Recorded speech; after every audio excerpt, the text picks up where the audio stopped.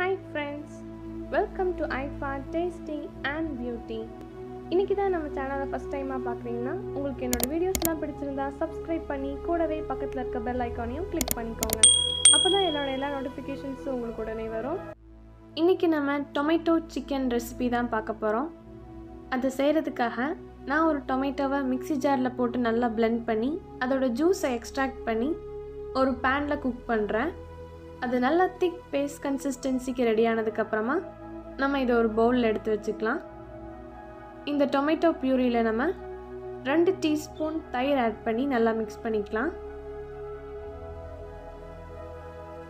தயிர் ஆட் பண்ணதுக்கப்புறமா நம்ம இதில் ஒரு ஹாஃப் லெமன் பிழிஞ்சு விட்டுக்கலாம்.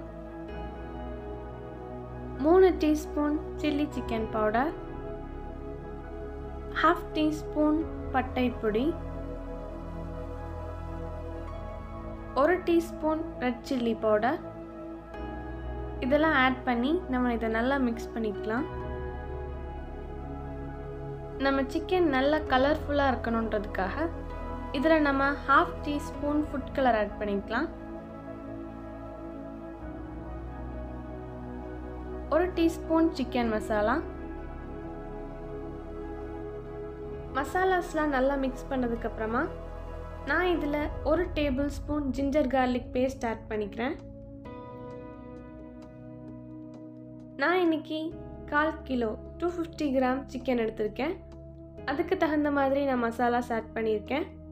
ஒருவேளை நீங்கள் நிறைய சிக்கனில் செஞ்சிங்கன்னா இன்க்ரீடியன்ஸ்லாம் கொஞ்சம் ப்ளஸ் பண்ணி ஆட் பண்ணிக்கோங்க. நம்ம எடுத்து வச்சுருக்க சிக்கனை மசாலாஸில் நம்ம நல்லா கோட் பண்ணிக்கலாம். சிக்கன் நல்லா மிக்ஸ் ஆனதுக்கப்புறமா நம்ம கொஞ்சமாக இதில் ஆனியன் ஸ்லைஸ் பண்ணி ஆட் பண்ணிக்கலாம். இதை நம்ம மசாலாஸோடு நல்லா மிக்ஸ் பண்ணிக்கலாம். சிக்கனோட மசாலாவில் நம்ம ஆனியனையும் சேர்த்து ஃப்ரை பண்ணும்போது இது இன்னும் டேஸ்டியாக இருக்கும். நெக்ஸ்ட் நம்ம தேவையான அளவு சால்ட் ஆட் பண்ணிக்கலாம். கொஞ்சமாக கருவேப்பிலை ஆட் பண்ணி இதை நம்ம நல்லா மிக்ஸ் பண்ணிக்கலாம். இதை மிக்ஸ் பண்ணதுக்கப்புறமா ஒரு ஒன் ஹவர் இதை அப்படியே நம்ம ஊற வச்சிடலாம். அப்போ தான் இந்த மசாலாஸ்லாம் சிக்கனோட நல்லா அப்சர்வ் ஆகி நம்ம ஃப்ரை பண்ணும்போது ரொம்பவே டேஸ்டியாக இருக்கும். இது நம்ம ஒன் ஹவர் ஊற வச்சதுக்கப்புறமா ஃப்ரை பண்ணிக்கலாம்.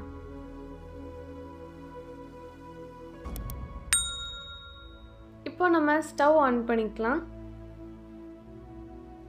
ஒன் ஹவர் நல்லா ஊறினதுக்கப்புறமா நம்ம சிக்கன் மசாலாஸோட நல்லா கோட் ஆயிருக்கு இது ஃப்ரை பண்ணுறதுக்கு இப்போ ரெடி ஆயிருக்கு. நெக்ஸ்ட் நம்ம ஒரு பேனில் தேவையான அளவு ஆயில் ஆட் பண்ணிக்கலாம். ஆயில் ஹீட் ஆகிற வரைக்கும் நம்ம வெயிட் பண்ணலாம். ஒரு பவுலில் ரெண்டு டீஸ்பூன் கார்ன்ஃப்ளவர் எடுத்துக்கலாம். இதில் நம்ம கொஞ்சமாக வாட்டர் ஆட் பண்ணி நல்லா மிக்ஸ் பண்ணிக்கலாம். தேவையான அளவு சால்ட் அண்ட் பெப்பர் இதில் ஆட் பண்ணிக்கலாம். நெக்ஸ்ட் நம்ம எடுத்து வச்சுருக்க சிக்கனை இதில் கோட் பண்ணி நெக்ஸ்ட் நம்ம ப்ரெட் க்ரம்ஸில் கோட் பண்ணி இதை ஃப்ரை பண்ணிக்கலாம். இதே மாதிரியே இருக்கிற எல்லா சிக்கனையும் நம்ம கோட் பண்ணி ஃப்ரை பண்ணிக்கலாம். இப்படி நம்ம ஃப்ரை பண்ணுறதுனால சிக்கன் வந்து ரொம்பவே கிறிஸ்பியாக டேஸ்டியாக இருக்கும். இதே மாதிரியே நான் எல்லா சிக்கனையும் கோட் பண்ணி ஃப்ரை பண்ணிக்கிறேன். நம்ம நார்மலாக சாப்பிட்ற சிக்கனை விட இது ரொம்பவே டிஃப்ரெண்ட்டாகவும் டேஸ்டியாகவும் இருக்கும். எப்போவுமே நம்ம மசாலாஸோட மட்டும் சிக்கனை ஆட் பண்ணி ஃப்ரை பண்ணாமல் இந்த மாதிரி கொஞ்சம் டிஃப்ரெண்ட்டாக ட்ரை பண்ணுங்கள் கண்டிப்பாக இதை நீங்களும் உங்கள் வீட்டில் ட்ரை பண்ணி பார்த்துட்டு எப்படி இருந்துச்சுன்னு கமெண்ட் பண்ணுங்கள் சிக்கன் நல்லா ஃப்ரை ஆனதுக்கப்புறமா இதை நம்ம தனியாக எடுத்து வச்சுக்கலாம். இதோட நம்ம ஆனியன்ஸையும் ஆட் பண்ணி ஃப்ரை பண்ணியிருக்கோம். அதுவும் கிறிஸ்பியாக சாப்பிட்றதுக்கு ரொம்பவே நல்லாயிருக்கும்.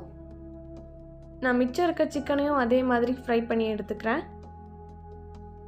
டேஸ்டியான டொமேட்டோ சிக்கன் ரெடி ஆயிடுச்சு உங்கள் எல்லாருக்கும் இந்த வீடியோ பிடிச்சிருந்தா லைக் பண்ணுங்கள் ஷேர் பண்ணுங்கள் மறக்காமல் நம்ம சேனலுக்கு சப்ஸ்கிரைப் பண்ணி கூடவே பக்கத்தில் இருக்க பெல் ஐக்கானையும் கிளிக் பண்ணிக்கோங்க.